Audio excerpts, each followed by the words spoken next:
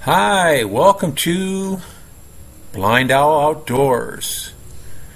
We hope you enjoy our channel, and if possible, could you please join our Patreon page? We really need your help. It's been a long, hard road. Thank you.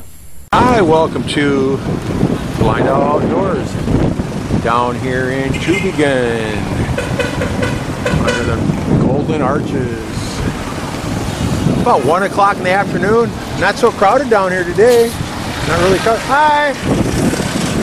Not too crowded at all today. Just waiting for our dinner. No parking spots. We had to park out here, double parked. I saw something over here that's kind of interesting. Here's a new Toyota Wigo. Very different shape of it. Our friend George has a Wigo, really nice little car. This one has all these sharp edges on it. This is very strange. Nice color. Back window. These are about $16,000 new. This one was bought new, obviously. Super dark windows, being legal anywhere else but here. They even even tint the windshield here. You can't even see out of them at night. But very strange front end on it. It's got everything's all squared off. It's got looks like projection lights in there or something. There's no bulb at all that you can see. Very different.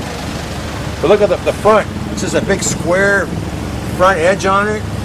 I, I don't like that at all, but it doesn't matter to me. Probably some driving lights here or something, I don't know. I like the headlights though, I bet they're bright. Nice looking vehicle. Here's a Kia, about the size of our car. A little fancier inside though, I bet. I think these are called Picantos or something like that. Yeah, Picanto. My wife's brother-in-law had one for a little while.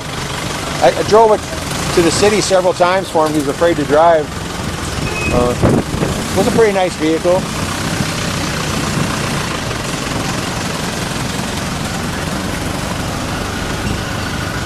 Here's a fancy Mitsubishi. Once again, look, it's all sharp, pointy features on it. That's a $25,000 car vehicle, something like that. They're all diesel. Very rare to find a gasoline engine in anything that's besides these little small cars. Sure is a lot of money going on. Look at this beautiful car here. Wow. Beautiful Toyota. That's very nice. Very nice. Beautiful looking. The SUV. Pretty. He's got some. He's got some kind of fancy headlight there too. I don't know what that is. I can't see if he's inside there or not, or I'd say hi to him, but got windows so dark you can't even see out of them. Yeah, Toyota Fortuner. That's a 1.5 million vehicle here. That's $30,000 easy. Here's a Toyota Vios. They're new. They're about a million pesos. 25, 20, 25,000 dollars. These have a four-cylinder in them, where all these small cars all have three cylinders in them.